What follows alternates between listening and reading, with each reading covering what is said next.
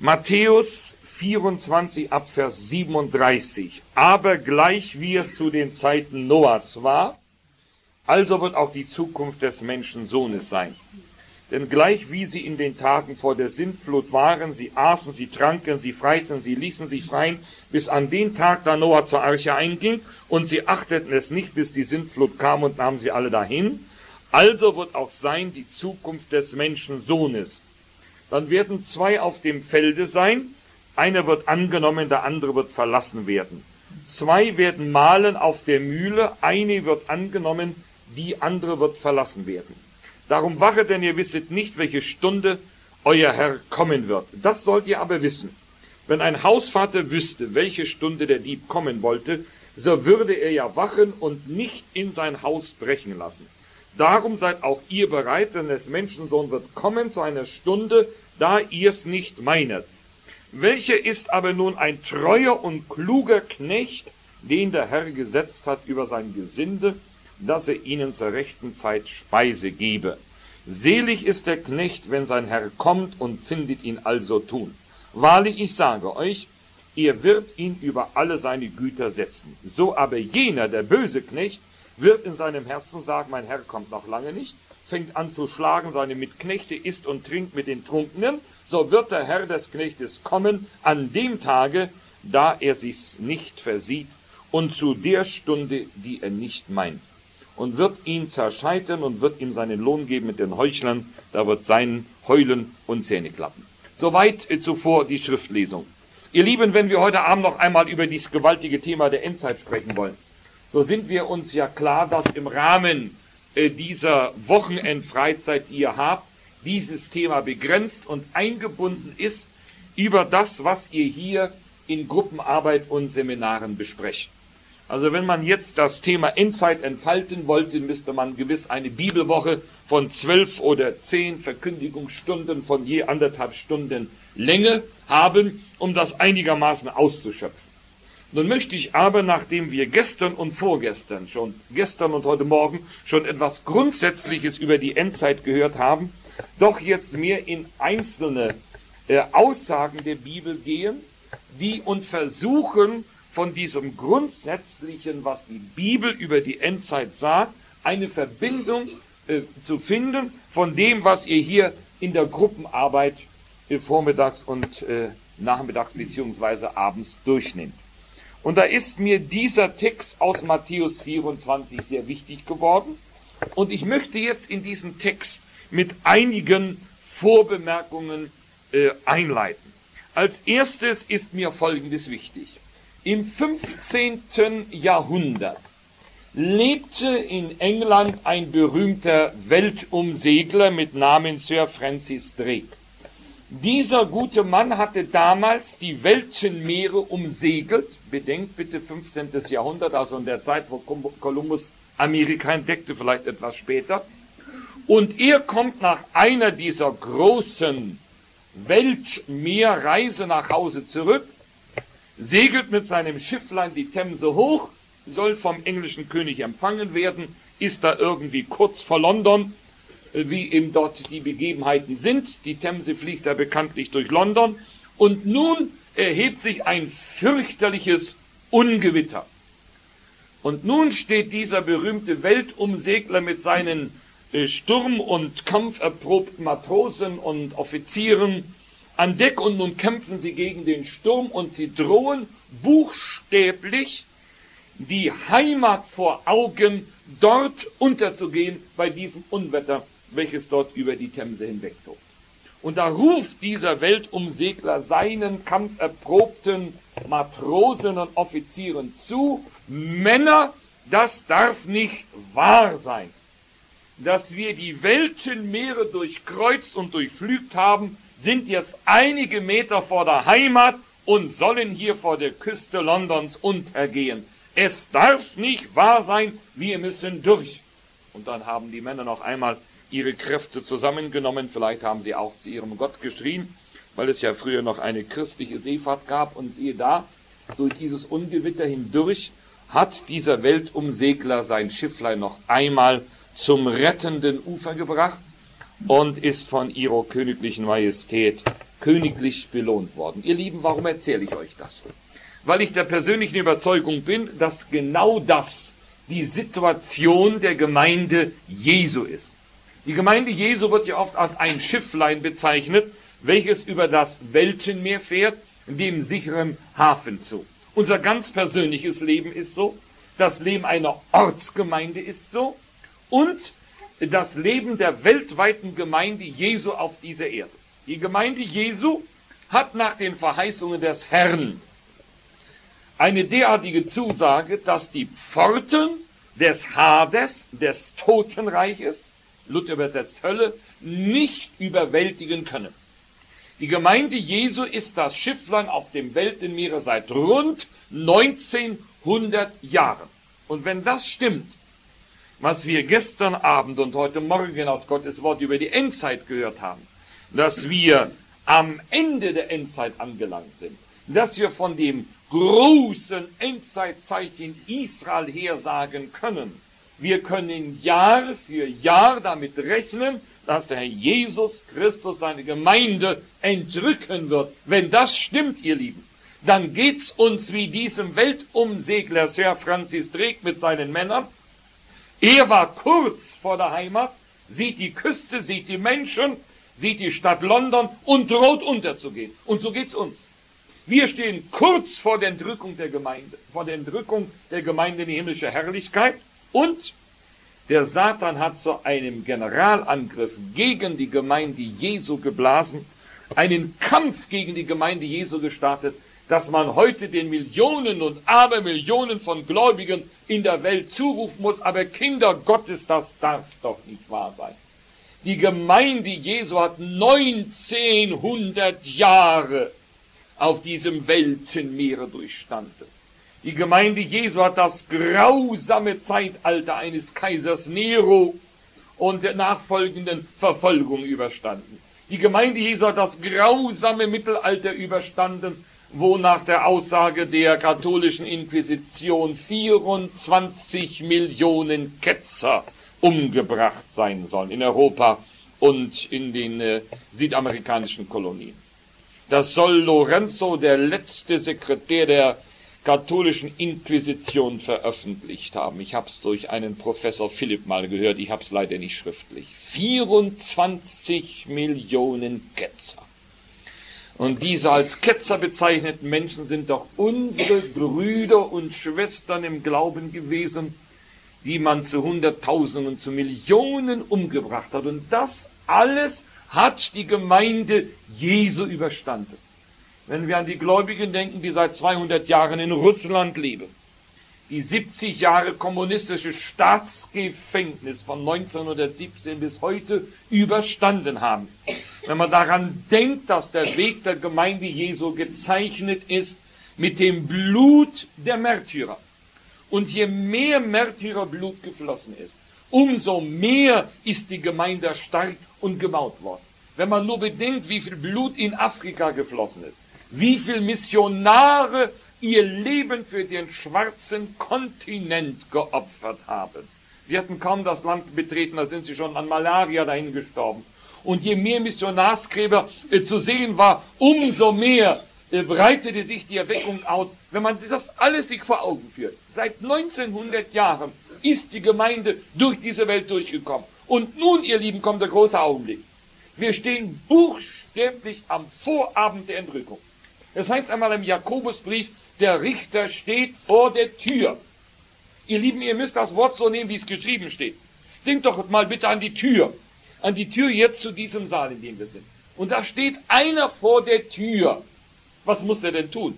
Er muss nur noch an die Tür tippen, dann geht sie auf und dann ist er da. Und genauso ist es bei unserem Heiland. Unser Heiland, ich möchte fast sagen, er steht ja gar nicht mehr vor einer Tür. Da ist ja nur noch ein seidener Vorhang. Die Distanz zu seiner Wiederkunft ist ja so kurz geworden, dass ich von meiner bescheidenen Schrifterkenntnis und von den Israel-Besuchen, die ich bisher hinter mir habe, mich immer wieder frage, ihr Lieben, was soll denn eigentlich noch erfüllt werden, wo wir als Gläubige sagen müssen, also jetzt ist es endlich soweit, das und das und das hat sie erfüllt, jetzt kann der Heiland kommen. Ihr Lieben, ich frage euch, was soll sich noch erfüllen? Erstens, wenn ihr in die Völkerwelt schaut, soll die Gottlosigkeit noch mehr überhand nehmen? Die Schamlosigkeit? Ihr Lieben, wenn die Leute von Sodom und Gomorra heute durch unser christliches Europa gingen, die würden vor Scham erröten.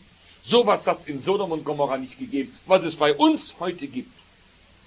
Ich frage euch, soll es noch schlimmer werden? Zweitens, was soll sich eigentlich in Israel noch erfüllen? Ich frage euch, was soll da noch geschehen?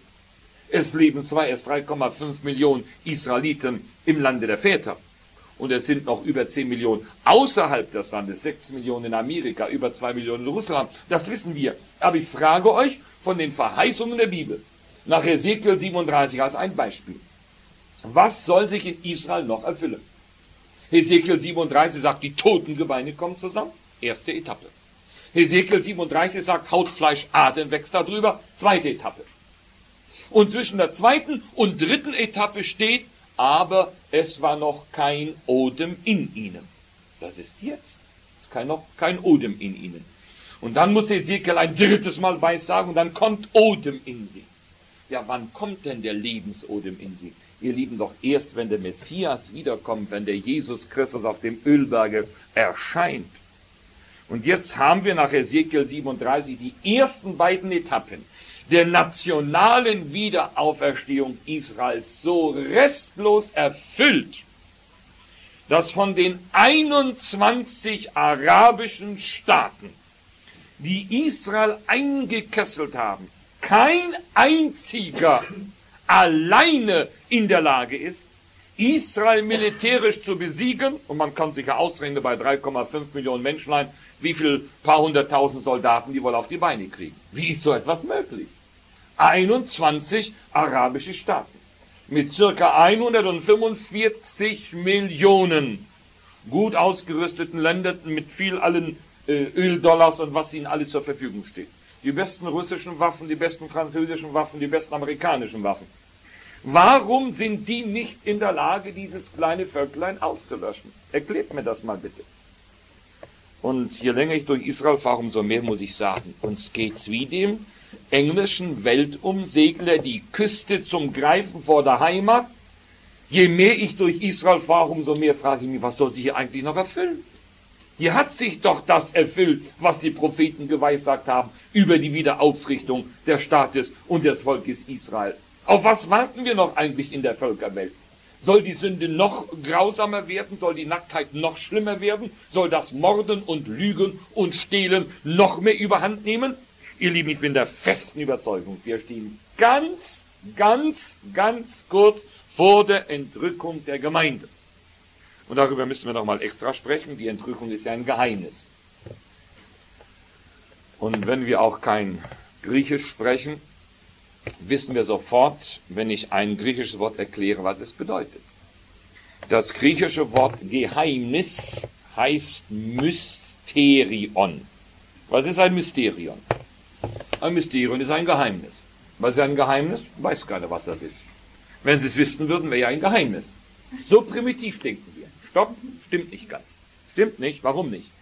Ein Mysterium ist ein Geheimnis, was nur Eingeweihte wissen. Die anderen wissen es nicht. Das ist ein Mysterium. Es gibt ja, es gab ja im alten römischen Weltreich Mysterienreligionen. Was waren das für Religionen? Das wussten nur die Eingeweihten. Was ist ein Mysterium? Was will das griechische Wort sagen? Es ist ein Geheimnis, das nur die Eingeweihten wissen. Was ist die Gemeinde selbst? Ein Geheimnis. Epheser 5. Was ist die Entrückung? Ein Geheimnis. Wer weiß um dieses Geheimnis? Die Eingeweihten. Wer sind die Eingeweihten? Die wahren, wiedergeborenen Gläubigen, die bei der Entrückung dabei sind. Also, die Entrückung ist ein Geheimnis. Und so ist auch der Zeitpunkt der Entrückung ein Geheimnis. Wir wissen nicht, wann der Herr kommt. Der Herr hat es uns mit Bewusstsein verschwiegen, wenn er kommt. Und warum hat er es verschwiegen? Weil wir nicht anfangen sollen auszurechnen, sondern weil wir jeden Tag bereit sein sollen. Und ihr Lieben, wer jemals die Offenbarung durchstudiert hat, ich habe jetzt seit letztem Jahr äh, von Januar bis Januar, also ungefähr in zwölf Monaten, dreimal die Offenbarung durchstudiert und dreimal in drei Bibelwochen gepredigt. Mit je zwölf Vorträgen von ungefähr jedem Vortrag anderthalb Stunden. Und je mehr ich mich in die Offenbarung hinein vertieft habe, habe ich eines festgestellt. Was ab Offenbarung 6 geschrieben steht, da muss nach meiner Kenntnis die Gemeinde längst weg sein. Es gibt viele liebe Brüder, die haben andere Kenntnis. Ich schätze sie. Aber ich bitte diese Brüder immer, sie mögen auch meine Erkenntnis schätzen. Wenn ihr nämlich ab Offenbarung 6 bis Offenbarung 19 lest, dann stellt ihr eines fest. Man muss die Offenbarung plastisch lesen. Was heißt plastisch? Plastisch heißt, dass die Offenbarung von oben her von Gott in einer Schau gesehen ist, wie ein Lichtkegel von oben plastisch auf etwas herabfällt, dass aber Johannes die große Mühe hat, das, was ihm die göttliche Schau plastisch gibt, das muss er Wort für Wort nacheinander aufschreiben. Und wir denken, ach, da ziehen sich ja Jahre und Jahrzehnte hin. Was da alles nacheinander berichten muss, da müssen ja viele Jahre vergehen. Irrtum, ihr Lieben. Irrtum.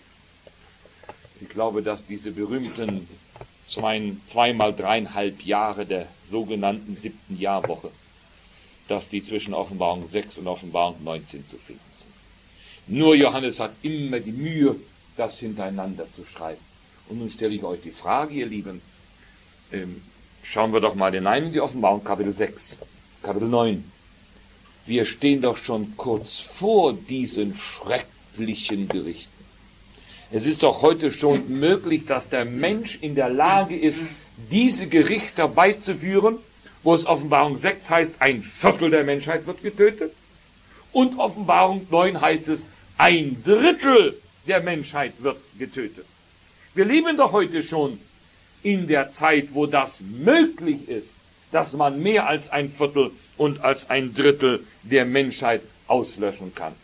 Also kommen wir wieder zu dem einen Punkt. Wir kommen immer wieder zu unserem Freund, dem englischen Weltumsegler, zurück. Die Heimat greifbar vor Augen. Man könnte sagen, Bruchteile von, von Augenblicken vor der Entrückung.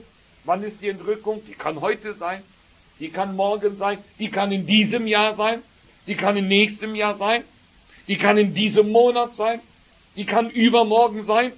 Nach meiner Kenntnis sind wir so nahe davor. Aber nun die Frage. Und heute Abend geht es ja um dies seelsorgerliche Anliegen.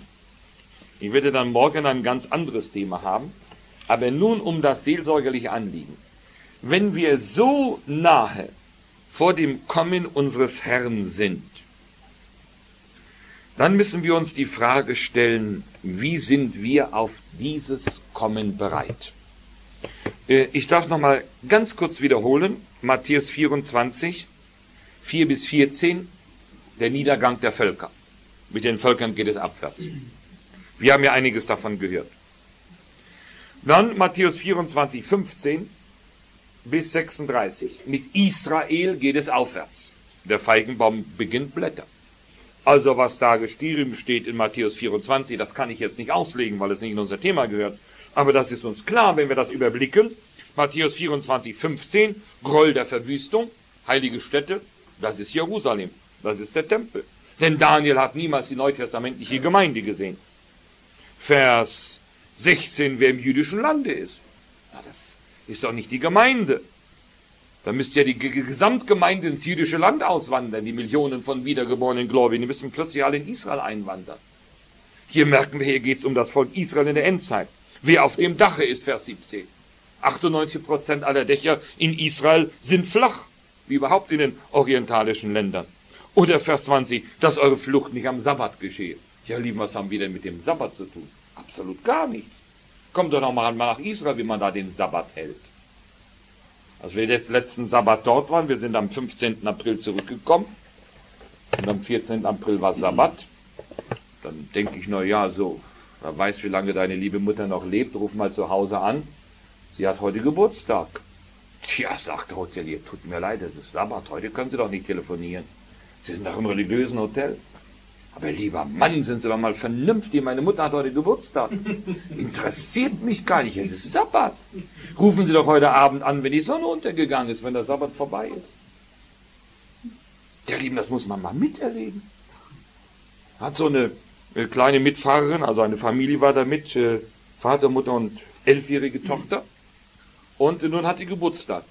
Während der Israelreise wird sie zwölf. Naja, und man frage ich den einen Hotelier, wir sind in der Zwischenzeit woanders, das Kind hat morgen Geburtstag, könnte man dem nicht so eine kleine Torte mit so ein bisschen Licht und wenn man das so macht, sagt er morgen, wieso, das macht man heute. Ja, warum denn heute? Ja, wissen Sie nicht, dass der Tag in Israel schon am Vorabend beginnt? In Israel feiert man Geburtstag anders. Nicht, der Sabbat, der fängt bereits am Freitagabend an. Und wenn dieses Mädchen nach unserer Rechnung morgen zwölf wird, nach israelischer Zeitrechnung wird sie heute schon zwölf. Also mussten wir das über uns ergehen lassen beim Abendbrotessen. Auf einmal geht das Lied aus und alles fängt an zu singen Happy Birthday to you und dann haben 58 Leutchen gesungen und das Mädchen war ganz verdattert. Ja, ich habe doch erst morgen Geburtstag. Nein, heute hast du Geburtstag. Die israelische Zeitrechnung ist anders. Ne?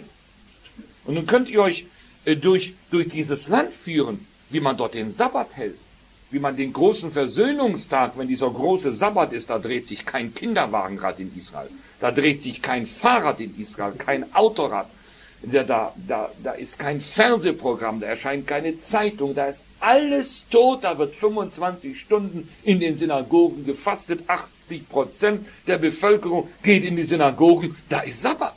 Absoluter Sabbat. Kann man sich gar nicht vorstellen. Aber hier steht's geschrieben. Bitte, dass eure Flucht nicht am Sabbat geschieht. Am Sabbat darfst du deine Mutter nicht zu Hause anrufen, wenn sie Geburtstag hat. Am Sabbat darfst du keinen Brief schreiben. Am Sabbat geht das nicht. Am Sabbat ist in Israel Sabbat. Siehst du? Also, ihr Lieben, darüber wollen wir gar nicht sprechen. Matthäus 24 Abvers 15 ist klar. Was hier geschrieben steht, auch die Auserwählten, das ist der gläubige Überrest aus Israel, das hat mit der Gemeinde gar nichts zu tun. Aber nun wird's interessant. Jetzt geht's wieder zu uns. Kommt der Text zu uns zurück. Vers 37.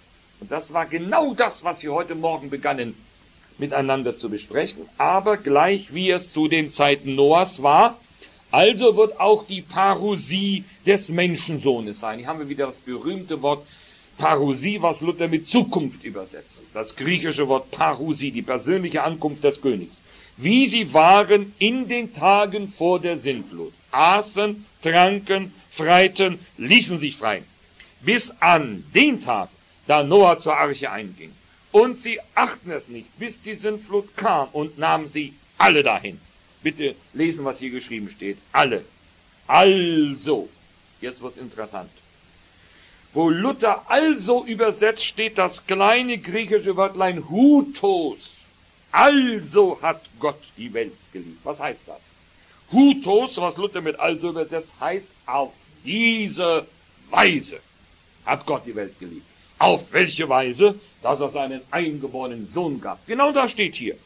Also, das heißt, auf diese Weise, wie es das seit Noahs war, wird auch die Parousie des Menschensohnes sein.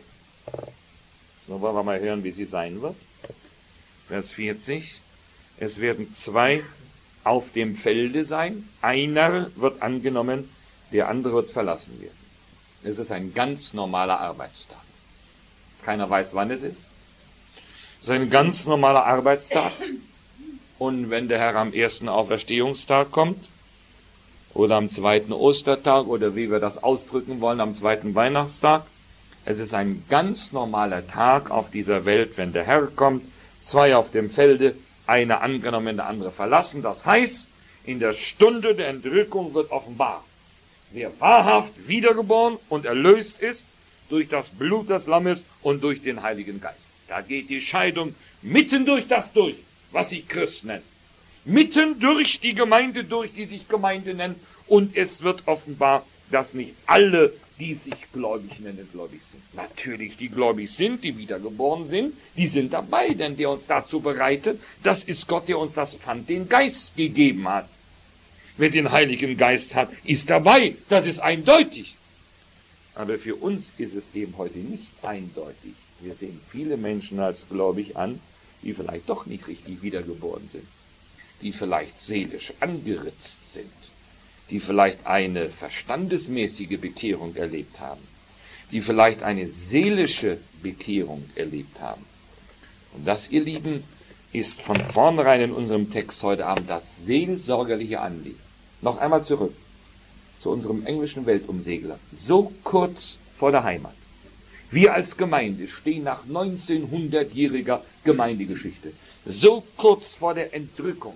Und nun stelle ich dir die Frage, bist du wahrhaft wiedergeboren durch den Heiligen Geist?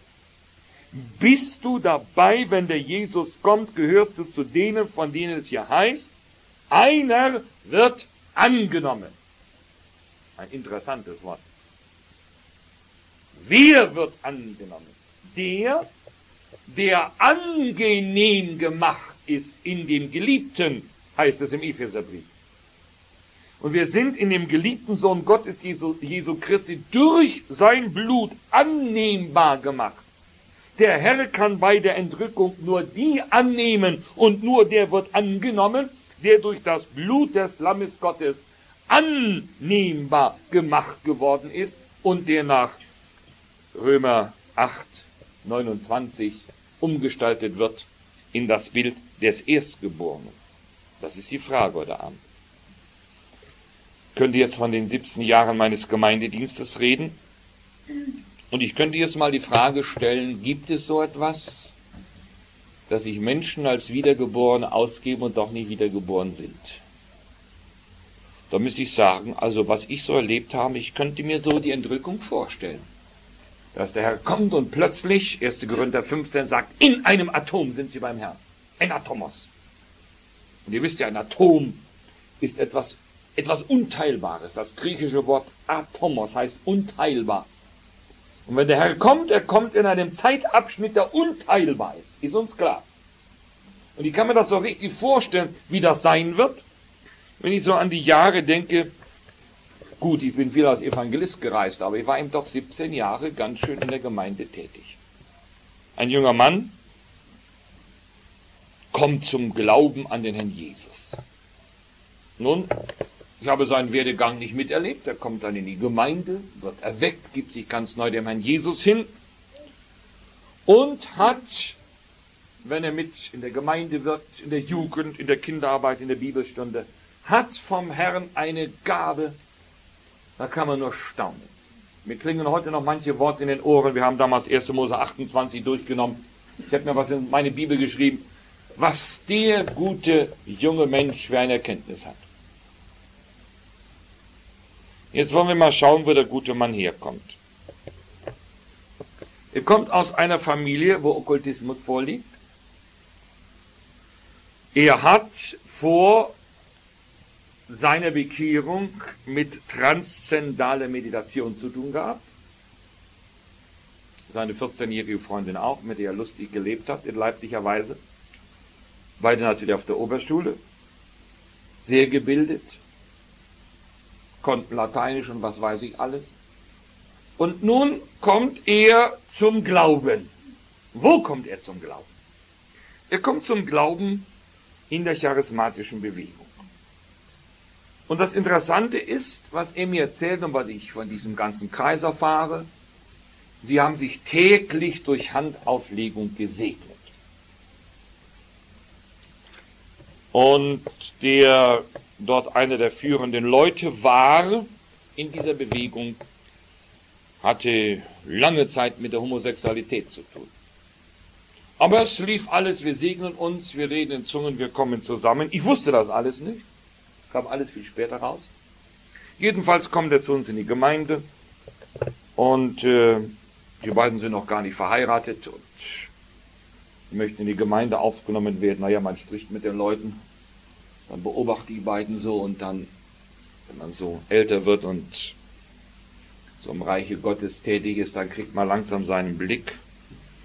Dann sage ich eines Tages zu ihm, hör mal zu, mein lieber Bruder, also das Mädchen, das du heiraten willst, das ist aber keine Jungfrau mehr. Erst wird er leichenblass, dann wird er knallrot im Gesicht. Und dann sagt er, ja, das stimmt, wir haben eben vorher, wir kannten das nicht anders zusammen gelebt. Und als wir dann in der charismatischen Bewegung gläubig wurden, da sind wir zu einem gläubigen Professor gefahren, haben das alles vorgetragen. Und dann hat er gesagt, wenn ihr sowieso heiraten wollt, dann könnt ihr ruhig weiterleben, aber ihr müsst so schnell wie möglich sehen, dass ihr heiratet. Also sag immer zu, entweder machst du radikal Schluss oder es geht vor die Gemeinde und du fliegst raus. Naja, es gab einen fürchterlichen Krach zwischen ihm und seiner Freundin, aber hat das sehr beherzigt. Er versuchte radikal mit ihr Schluss zu machen und hat auch, äh, soweit ich das überblicken kann, das ziemlich toll durchgeführt, aber er scheiterte an ihr. Sie wollte nicht Schluss machen, da hat sie gesagt, dann heiraten wir eben. Naja, dann haben sie geheiratet. Dann war sie so anderthalb Jahre verheiratet. Besuche ich sie eines Tages. Ich möchte jetzt die Namen nicht nennen. Ich sage, wo ist denn dein lieber Mann? Oh, der ist heute Abend zum Tischtennis spielen. Und, äh, naja, man fragt so, wie es so geht, ja. Wir werden uns wohl scheiden lassen. Sie geht tanzen. Also Dinge, ich denke, mir geht der Boden unter den Füßen weg. Naja, lange Rede, kurzer Sinn. Sie sind heute geschieden, er lebt mit einer geschiedenen Frau unverheiratet. Und sie hat einen anderen Mann geheiratet, hat ein Kind, soweit ich weiß. Wir haben uns die Schuhsohlen abgelaufen, es war nichts mehr zu machen. Man hat so einige Jahre den Kontakt verloren, plötzlich klingelt es an der Tür, Ach, mein lieber Freund steht vor der Tür. Ja, sagt er, wissen Sie, ich bring's nicht übers Herz. Ich habe Sie jetzt ein paar Mal in der Stadt gesehen. Ich habe Sie ja mal auf der Autobahn im Auto gesehen. Ich muss doch noch mal mit Ihnen sprechen. Naja, jetzt sprechen wir lange hin und her. Lange Rede, kurzer Sinn. Er sagte, wissen Sie, ich kann nicht mehr zurück. Sag, warum nicht? Sagt, ob Sie mir es glauben oder nicht, ich habe etwas in mir, ich kann im Straßenverkehr die Augen zumachen und ich kann blind Auto fahren, es passiert kein Unfall. Als ob eine fremde Macht mich steuert. Als ob. Na, aber da liegt was vor. Ja, seine Freunde beten immer noch für ihn, besonders die da in der Gemeinde sind, wo ja mal eine gewisse Zeit gewesen ist. Das könnte ich alles aufzählen, alles, was er in der Gemeinde hat über sich ergehen lassen, hat sich losgesagt von der charismatischen Bewegung, hat sich taufen lassen, hat alles gemacht. Also man möchte sagen, ein Bilderbuch Christ und das ist aus ihm geworden. Nun stelle ich euch die Frage, wie ist so etwas möglich? Wie ist so etwas möglich? Entweder ist dieser Mensch von vornherein betrogen gewesen, dass er so verdreht worden ist durch all diese finsteren Mächte, mit diesen ewigen Handauflegungen und Segnungen und Zungenreden und alles, was sie hinter sich hatten, dass man sagen muss, also dieser Mensch hat nie eine echte Wiedergeburt erlebt, aber wie kann er dann so mit in der Gemeinde Dienst tun und so mitwirken und wie kann er so lange frommes Theater vorspielen? Nun, wir können keine Antwort darauf geben, wir müssen es dem Herrn überlassen, aber hier steht geschrieben, einer wird angenommen, der andere wird verlassen werden. Und nun könnten wir die anderen Bibelstellen noch hinzufügen. An ihren Früchten sollt ihr sie erkennen. Und wenn ich jetzt darüber nachdenke, das ist jetzt ein Beispiel, was ich euch jetzt erzähle. Was habe ich erlebt von Menschen, die vorgaben, bekehrt und erlöst und wiedergeboren zu sein? Und nach Jahren hat man die haarsträubendsten Dinge erfahren. Es gibt eine ganz bestimmte Schicht im Raum der Gemeinde Jesu, wo wir weder die Wiedergeburt zusprechen noch die Wiedergeburt absprechen können. Wir müssen es einfach so annehmen. Sie bekennen gläubig zu sein, sie lieben den Herrn Jesus und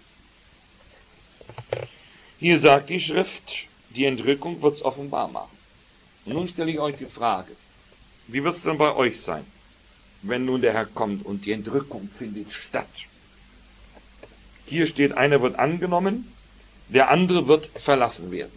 Ich springe jetzt mal gleich äh, zum 42. Vers, da heißt es, wachet. Zum 44. Vers, seid bereit. Und zum 45. Vers, ein treuer und kluger Knecht. Frage. Was heißt wachen? Was heißt bereit sein? Was heißt ein kluger und treuer Knecht sein. Darum wachet, denn ihr wisset nicht, welche Stunde euer Herr kommt. Was heißt wachen? Ich lege die Bibel durch die Bibel aus. Und geh mal zurück in das Buch des Hohen Liedes. Und im Buche des Hohen Liedes lese ich etwas vom Wachen. Da heißt es im Hohen Lied, Kapitel 5, Vers 1, ich schlafe, aber mein Herz ist wach. Da ist die Stimme meines Freundes, der anklopft, tu mir auf, liebe Freundin, meine Schwester, meine Taube, meine Fromme und so weiter und so fort. Also, hier wird gesagt im Hohen Lied, ich schlafe, aber mein Herz wach. Was heißt das? Wir haben ja bekanntlich Zwillinge und wenn man so zwei Kinder auf einmal hat, wenn sie klein sind, doppelte Freude, doppelte Arbeit. Und ich erinnere mich an die ersten Jahre, wir waren ins Ruhrgebiet gekommen, hatten dort unseren Dienst angefangen und abends waren wir ziemlich geschlaucht. Nicht nur nach dem Dienst, sondern wenn man so zwei hat, nicht? Der eine bricht, der andere bricht, der eine hat die Hose voll, der andere hat die Hose voll. Ist immer alles doppelt. Und wenn dann der Abend kommt, dann fallen wir beide todmüde ins Bett. Dann hatten wir so einen schönen, so ein, so ein altes Haus, so einen neun Meter langen Flur. Und die Tür war natürlich offen, unsere Schlafzimmertür war offen, die Kinderzimmertür war offen und die beiden kleinen Geister, die schliefen da hinten. Und meine Frau hat einen enorm tiefen Schlaf. Da konnte das Telefon gehen, da konnte es an der Haustür klingeln. Da war sie nicht mehr wach zu kriegen.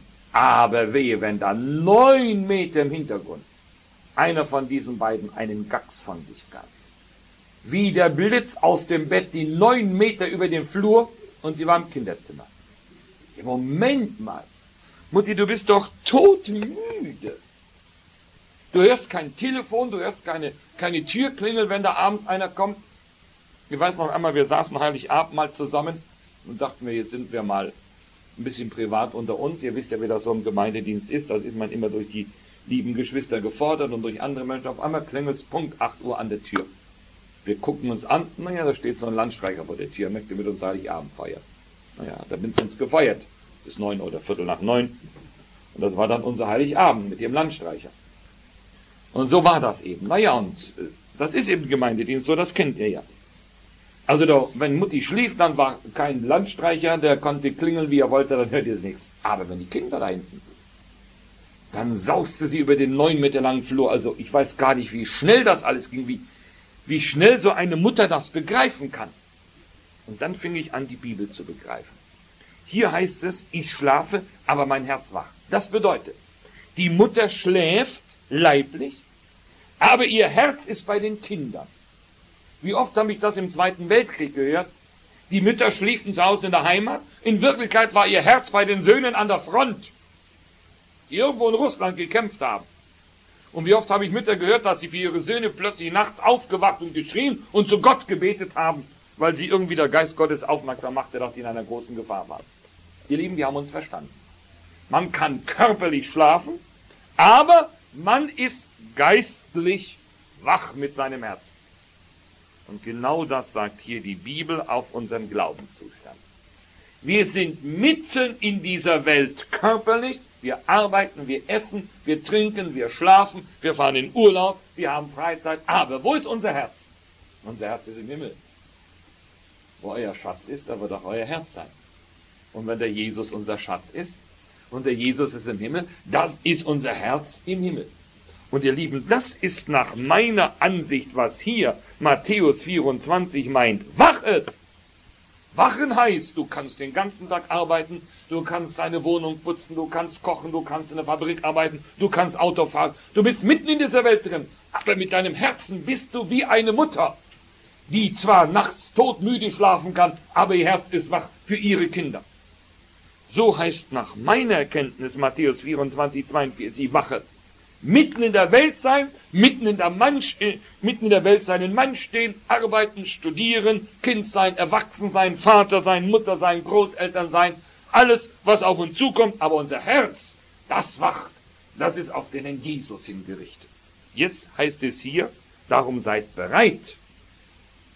Entschuldigt, wenn ich heute Abend die Zeit etwas überziehe. Aber das muss hier geklärt werden. Das sollt ihr aber wissen wenn ein Hausvater wüsste, welche Stunde der Dieb kommen wollte, so würde er ja wachen und nicht in sein Haus brechen lassen. Logisch. Darum seid auch ihr bereit, denn des Menschensohn wird kommen zu einer Stunde, da ihr es nicht meint. Also das ist die einzige Stunde, die man weiß. Des Menschensohn wird kommen zu einer Stunde, da ihr es nicht meint. Jetzt fragen wir die Schrift.